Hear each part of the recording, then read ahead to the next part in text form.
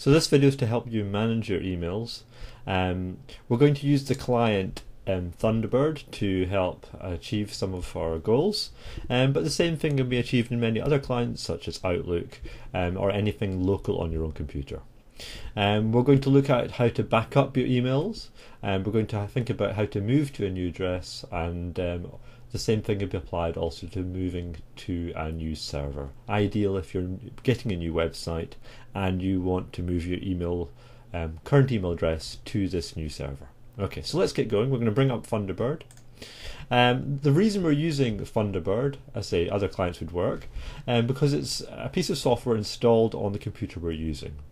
And that means we can actually take the emails that are being stored elsewhere, such as on the server, and then download them to a local folder where they become um, stored on this particular computer.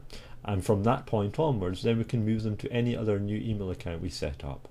So let me show you how to do that. Here's the email address we're going to be working with, one called test at skytestsite.co.uk. Um, and here we've got, a selection of basic test emails, nothing particular special there, so it wouldn't matter if we lost them. Um, but this is a very safe method if you are planning to keep emails. So, um, also um, in Thunderbird, notice how we've got a thing called local folders here, and these are the folders that are actually stored on this particular computer. Um, so what we can do is we can move these emails to a local folder. To do that, we need to create a folder. So I'm going to right click on the local folder thing and click New Folder. I'm going to name it something relevant to um, our project. I'm going to name it, I don't know, um, test inbox and then create folder. And if we click on the little arrow here, we should see it there. So this is a folder which is being stored locally on this computer. And now what I can do is I can actually copy these emails to that folder, which is a backup. So I can select one of the emails and hit um, Control A to select all, and then right click on the selected emails and click Move to Local Folders, and then find the folder that we've just created and click that. It'll do it pretty quick. If you have a lot of emails, it may take some time to do. Down in the bottom left corner, it tells you the progress of how things are getting on. Once it's completed, then everything you've just copied should then appear in this folder here, and you can see them there.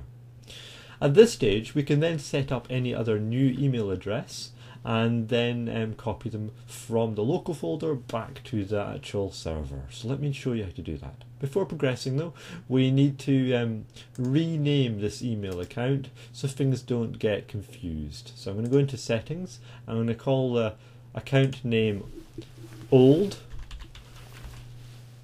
and then click OK.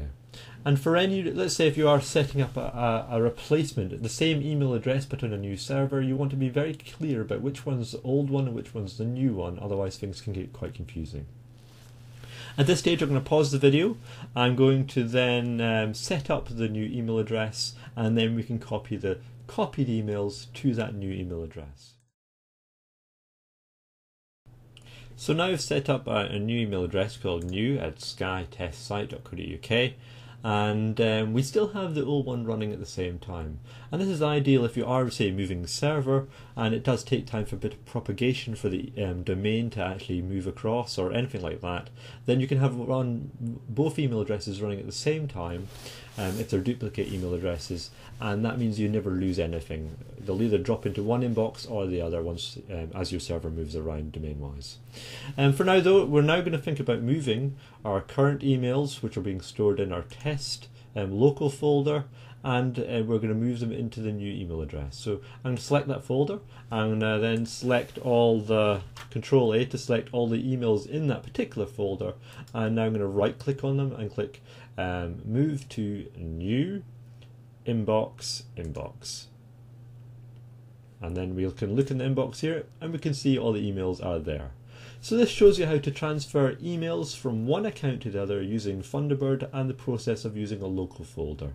Great for backing up, uh, moving emails from one address to the other, or moving server um, if you're setting up, say, a new website. Hopefully this helps you out. Um, cheers for now.